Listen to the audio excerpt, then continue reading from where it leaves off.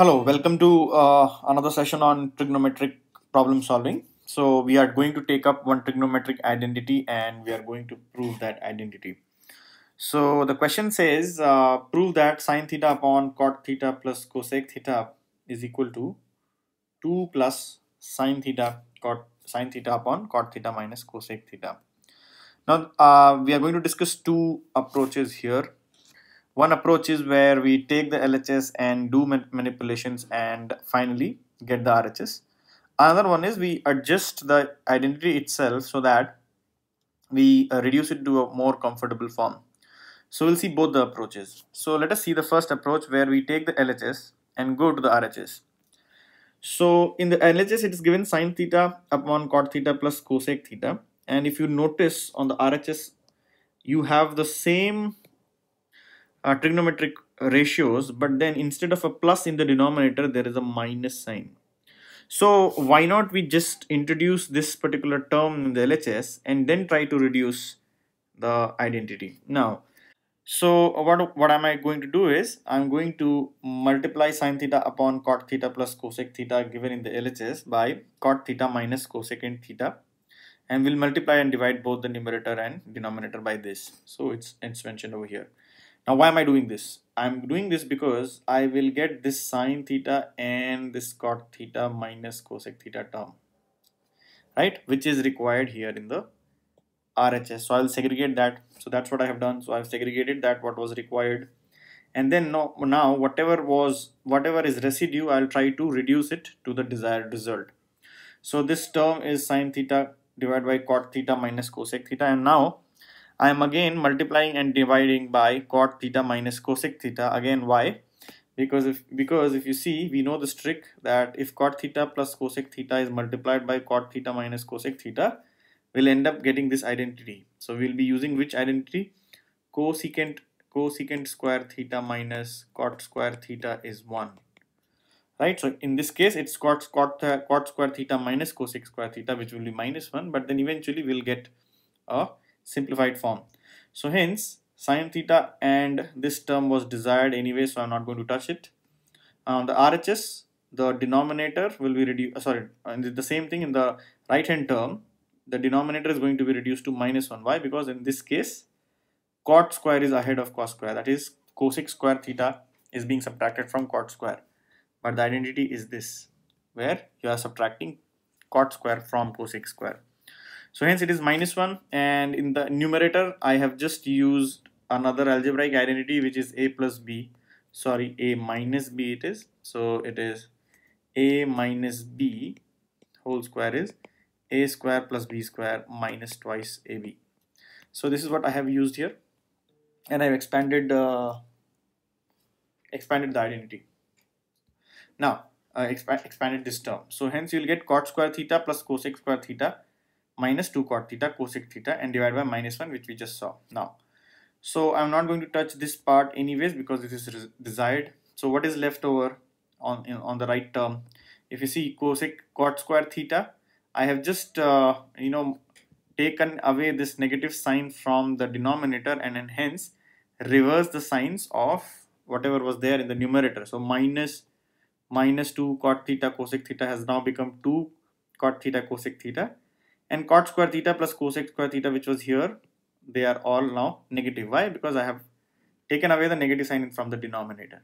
Now so again this term I'm not going to touch. Why? Because it's going to be there in the RHS so what is left now? So 2 cot theta into cosecant theta minus cot square theta. And now I have reduced cosecant square as cot square plus 1 why? Because we know that cosecant square theta is equal to 1 plus cot square theta same identity. Which one?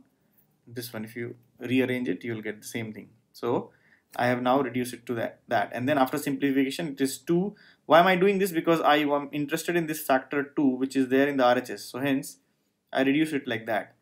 And so after simplification this is what is left in this term. Again note I'm not touching this. So hence now I'm, I'm writing cos cot into cos by sine. Cos cot as cos by sine here and cosecant as 1 upon sine here and minus 2 cot square will be 2 cos square sine square theta and minus 1. Now hope you understood till this step. Now again this term I'm not going to touch. Now I take LCM in the right term sine square theta is the LCM so it becomes 2 cos theta minus 2 cos square theta here and then since it was minus 1 so it will be minus sine square theta again I have to get 2 somehow. So but there are two 2's and one one sine square and I have to also get 2 plus 1 something like that. Why? Because you know um, uh, I have to get 2 into some factor here and then I have to also get 1 because here if you see there is so uh, the whatever is the multiplicand here. So if you see this will be there. So hence in this term there has to be 1 so that this term is left over. And since 2 is also there on the RHS so 2 multiplied by this reciprocal reciprocal of this term must appear. That's what the thought process is. Let us proceed. So hence now sine square theta can be written as minus 2 sine square theta plus sine square theta isn't it? Minus sine square theta can be written as minus 2 sine square theta plus sine square. Again there is a purpose. Why? Because I can I can extract 2 from here. So if you see 2 cos theta is there and then minus 2 common from cos square theta plus sine square theta will reduce it to 1 and then this sine square theta when divided by this sine square theta here is this term. So I've separated the terms now. So sine theta by this term again is not touched. Now 2 cos theta minus cos square theta plus sine square theta is 1 that reduces to minus 2 because there was a minus 2 here also. So 2 cos theta minus 2 plus 1 by sine square theta. Now I got this one because this one when multiplied by this will give you the one term of the RHS what was that? Here this term is now in foresight. Now if you see um, yes so what is what is left now? So hence now i'm again reducing 2 cos theta i'm taking 2 as common. So cos theta minus 1 divided by sine theta right? Into 1 upon so sine square theta can be written as sine theta into sine theta. This is all by purpose. I'll show you how. Now cos theta 2 cos 2 times cos theta by sine theta minus 1 i broke this uh, fraction into two fractions. So cos theta by sine theta minus 1 by sine theta here. And then in, the whole is divided into multiplied by 1 by sine theta and then plus 1 now this term again let it be like that. Now this term is reduced to cos by sine is cot. So here is the cot and 1 by sine is cosec theta and 1 by sine is as it is and plus 1 is as it is. Okay?